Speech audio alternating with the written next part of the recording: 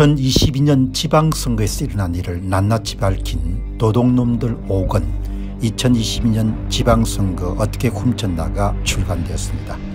이미 발간된 도둑놈들 1권 선거 어떻게 훔쳤나 2권 2022년 대선 어떻게 훔쳤나 3권 2022년 대선 무슨 짓을 했나 4권 4.15 총선 어떻게 훔쳤나에 이어서 다섯 번째 발간된 책입니다. 여러분께서 구매해 주시고 주변에 널리 알려주셔서 선거 공정성 회복을 위해 전 국민 필독서가 될 수 있도록 힘을 대주시기 바랍니다. 감사합니다. 자, 여러분 이 보시게 되면은 이제 이번 건을 가지고 한 번 더 이렇게 소위 병원장들이 전공의들의 사직서를 수리한 것을 금지하도록 정부가 명령을 내렸지 않습니까 이게 법적 효력이라는 부분이 굉장히 문제가 될 수 있는 소지죠. 이번에 정부가 이 문제를 그냥 설며시 이런들 물론 취소 대신에 철회를 했지만 이 문제를 내려놓는 데 중요한 것은 예, 송사가 붙으면 여러분들 이거를 이길 만한 그런 생각이 없었던 겁니다.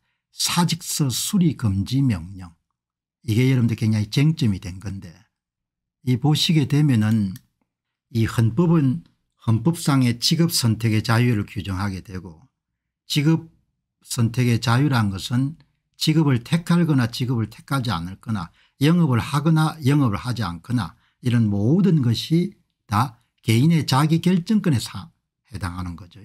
그런데 단 예외적인 경우는 국가가 전쟁 중이거나 이렇게 돼서 의료 인력이 필수적으로 여러분들 필요할 때는 한시적으로 헌법의 자기결정권을 잠시 유본할 수가 있는 겁니다. 예. 그래서 제가 궁금해 가지고 퍼플렉스에 질문을 하나 던졌습니다. 이거를 당신은 어떻게 생각하냐 예, 퍼플렉스에 이름 답을 한 것은 정부의 사직서 수리 금지 명령 진로 유지 명령 업무 개시 명령 등은 적법성 여부에 대한 논란이 있었습니다. 정부는 의료법과 응급의료에 관한 법률에 근거해 이런 명령을 내렸다고 주장합니다. 하지만 일부 법률 전문가들은 이 명령들이 과도한 개인에 대한 기본권 제한이라고 위법성을 지적했습니다. 특히 사직서 수리 금지 명령의 경우 근로자의 퇴직권을 제한다는 점에서 노동관계법 위반 소지가 있다는 지적이 있었습니다.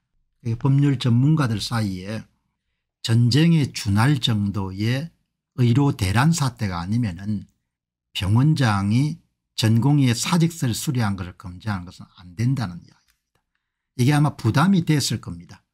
이번 조치를 취하는데 양보하는 것처럼 그렇게 보건복지부가 한 발자국 여러분들 뒤로 물러서는데 큰 원인 이유가 됐을 겁니다. 결국 정부는 6월 4일 이러한 명령들을 모두 처리하기로 결정했습니다. 조기용 보건복지부 장관은 욕을 먹을 각오를 했다면서 불가피한 결정이었음을 시사했습니다. 철회 이후에는 병원장이 전공의들과 상담을 통해 복귀를 설득할 수 있게 되었습니다. 하지만 복귀자와 미복귀자 간에는 수련기의 제한 등의 차이가 있을 수 있습니다. 정부 명령의 적법성 여부에 대해서는 법리적 검토가 더 필요해 보입니다. 하지만 정부가 스스로 명령을 처리한 것으로 보아 상당한 문제점이 있었던 것으로 판단됩니다. 상식적으로 생각하게 되면은 뭐 제가 볼 때는 이해가 이해가 되지 않는 거죠. 뭐 전공이 하다가 이런 못하겠다 하면 떠날 수 있는 거지 뭐 그걸 가지고 뭐죠 그냥 끝까지 뭡니까 그럼 강제 노역하고 똑같은 거지 않습니까 일하기 싫은데 그게 참 기가 찬 거죠. 그래서 추가적으로 여러분들 보시게 되면은 정부가 전공의들에 대한 사직 수리 금지 명령을 처리한 것은 적법성 문제 때문인 것 같고 헌법상 직업선택의 자유를 과도하게 제한하는 조치로 판단되고 전공의들의 사직권을 제한한 것은 헌법이 규정한 기본권을 침해하는 것이고 의료법상 근거가 미약하여 명령의 법적 정당성에 의문이 제기되고 있다. 정부는 예, 의료 대란이라는 것을 가정해 가지고 내린 것이고 현장에 이름도 서울대 의과대학 교수들은 무슨 의료 대란이었냐 정상적인 진료가 다 가능했는데 예, 그런 조치를 내릴 수 있는 상황이 아니었다는 거죠. 예, 그러니까 윤 정부의 방침을 보게 되면 은 대한민국의 좌익이든 우익이든 간에 국민의 기본권을 보장하는 문제는 참 문제가 많은 거죠. 더더욱 놀란 것은 대통령 자신이 자유를 뭐 35번 40번 외친 분이니까 더더욱 여러분들 참 귀한 그런 내용인 겁니다. 그러니까 모든 게 정도를 정도를 그리고 어떤 일이든 간에 절차적 정당성이 있어야 되고 합법성이 있어야 되지 않습니까 물론 예, 다른 이렇게 챗 GPT 같은 그 경우는 좀 다른 이야기를 합니다.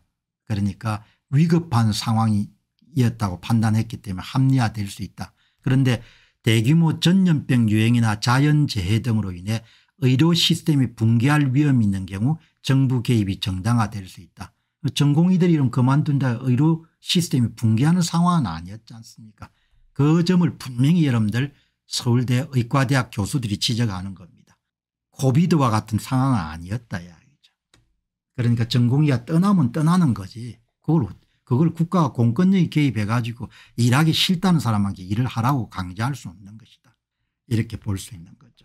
자 여러분 그러니까 제 이야기의 요지는 이렇게 2천명을 불쑥 내 놓기 전에 이 현장을 아주 잘 아는 그런 사람들을 두루두루 이렇게 여러분들 의견을 청취했으면 뭐 이런 사안이 안 터졌겠죠. 2천명 정원을 확대하는 문제는 뭐 그때나 지금이나 마찬가지로 정치적인 그런 의도와 목표가 있었던 거죠.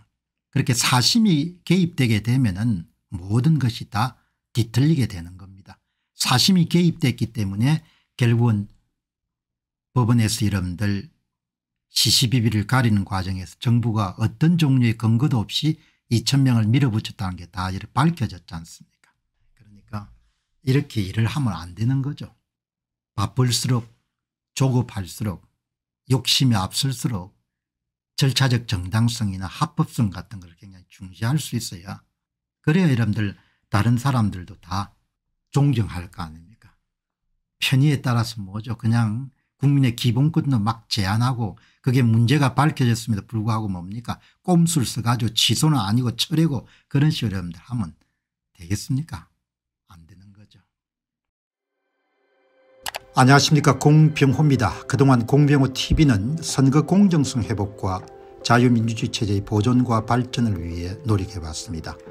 이런 노력들이 지속될 수 있도록 공병호 tv의 전기 후원 프로그램이자 멤버십 프로그램을 소개해드립니다. 뜻 있는 분들의 관심과 동참을 부탁드립니다.